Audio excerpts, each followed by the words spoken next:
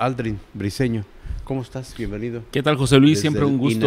lunes de transparencia. Un gusto de saludarte y saludar contigo al auditorio. Muchas gracias por la invitación. Y bueno, veníamos preparados con una, una charla, una, eh, un mensaje para el, público, pero bueno, escuchando también las peticiones y sobre todo las necesidades de la gente, porque si el derecho de acceso a la información pública no se socializa y no encuentra motivos en la propia sociedad, pues no puede justificar su existencia y mucho menos su prevalencia. Hablabas José Luis. de Cofepris, Exactamente. que no responde por el medicamento. Eh, efectivamente, eh, estábamos haciendo una pequeña eh, asesoría y consulta acerca de la necesidad, por ejemplo, de solicitar vía acceso a la información pública cuántos medicamentos, por ejemplo, son los que tiene la, el elemento básico de Cofepris para, el, para México o para, diversa o para alguna enfermedad en específico.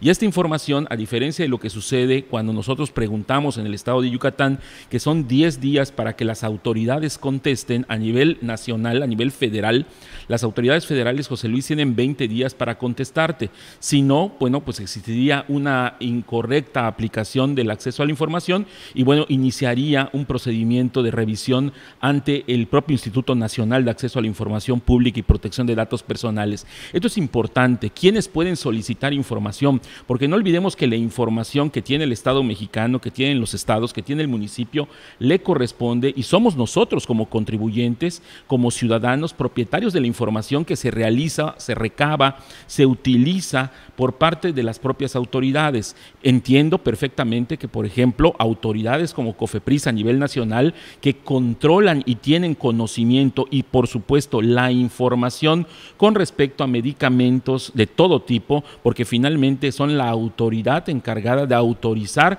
su venta y regular su venta en el Estado mexicano. En ese sentido, imagínate la información que debe de tener y esta información tiene que ser diseminada, tiene que ser compartida, José Luis, con todas las personas que por alguna u otra razón necesiten conocer algo con respecto a los medicamentos que por qué se están vendiendo o por qué se dejan de vender. Y nada que no puedes responder. ¿eh? No, absolutamente. y en serio. No, yo creo que es importante lo que tú acabas de destacar, porque toda la información que contempla el Estado mexicano, salvo sus excepciones de confidencialidad o reserva nacional, eh, pero la reserva, por ejemplo, de seguridad nacional no quiere decir, por ejemplo, los casos de corrupción, esos son totalmente libres, o los casos de lesa humanidad eh, o que agravian un derecho humano, son totalmente públicos. Y eso es lo que te quiero comentar. Toda la información que tienen los poderes del Estado es información pública y debe ser entregada a los ciudadanos cuando lo soliciten.